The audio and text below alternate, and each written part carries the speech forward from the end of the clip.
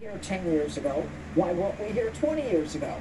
The reason we weren't is because we were a nation of law and order and consequence.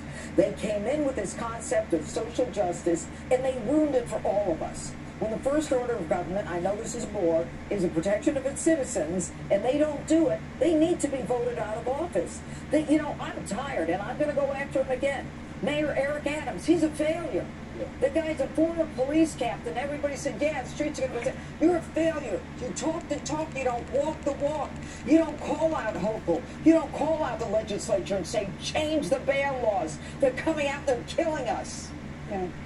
Geraldo, uh, the more extreme I disagree with that about Mayor. Why? Could you like him? Tell me he's I, I, I not only, I not only like him, I respect his attempts to What rein in violent crime. What attempt? He's gone to Governor Hochul, he's gone to these other What the hell has he said about He's, Hochul? he's When he trying to get bail reform. No, he's a He pussy. speaks When he came back, when he came back, you know what he said? When he came back to talk about that meeting, this is what he said. He said, I don't want to talk to you about this. He didn't want to talk to us about it because he didn't do anything. So, Geraldo, uh, the question now is, where do we go from here? The more extreme the crime gets, the more extreme the solution has to be to tamp down on that crime. And as the judge mentions, there has been very little done to curtail this problem, and the murder rates are going up, the violent crime rate is going up in New York, in LA, in other cities across the country. I, I noticed, Katie, how quick we are to